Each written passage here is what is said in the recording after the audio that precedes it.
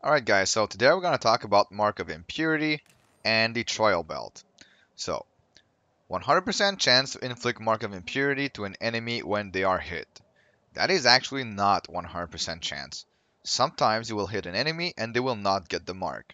Uh, we will come back to that later. I do not know what causes this, uh, but it is definitely not 100% chance.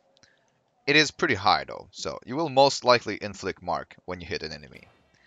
Um, first thing to know, Mark of Impurity marks an enemy inflicting a number of curse element stacks on them.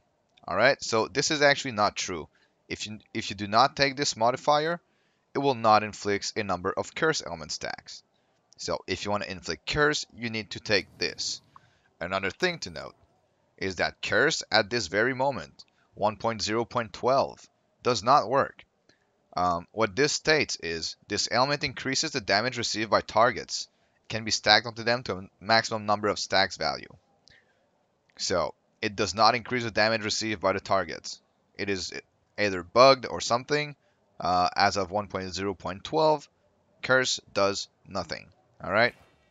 So, but why do we want Curse stacks then? Very, very simple. To get the maximum benefits from Immortal Offering.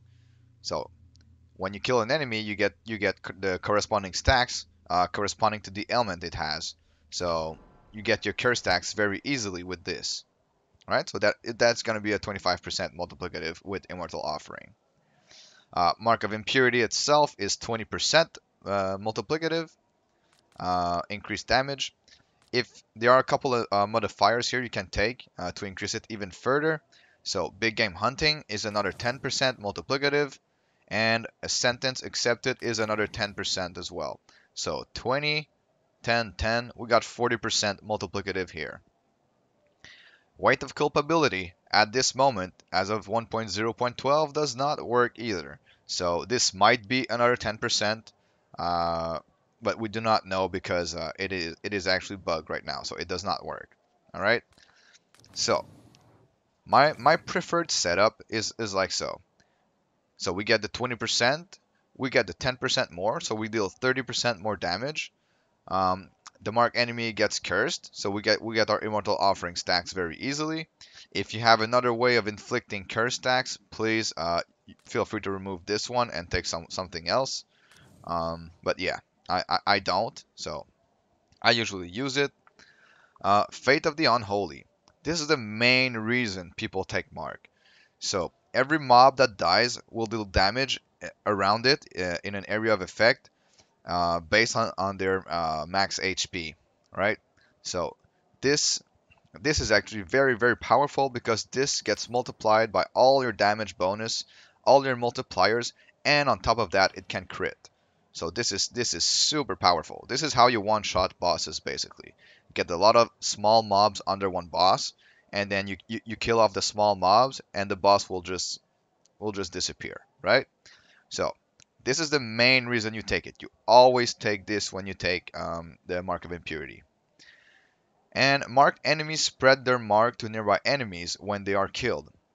So remember how I said that uh, the trial belt is not 100% chance to inflict the mark?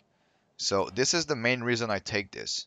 So that every single mob that is under the boss will get the mark as soon as one dies, and then they will all deal their maximum health as damage to the boss. So this is why this is my preferred setup. 20% damage, 10% more, curse stacks for Immortal Offering. Uh, this one is self-explanatory. You, this one is the main reason you take it. So uh, the mobs deal damage according to their max health, and then the mark spreads.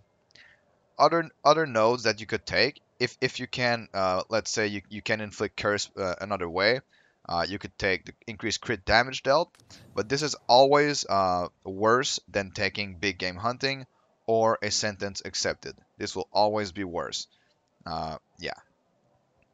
So you could go like this if you can inflict curse uh, another way, or if you don't want the mark to spread, you could go like this basically that's it guys so uh, my favorite setup is like so. And uh, with the trial belt, it is very, very powerful. And like, this is the most powerful item in the game right now. So, alright guys, thank you so much for watching.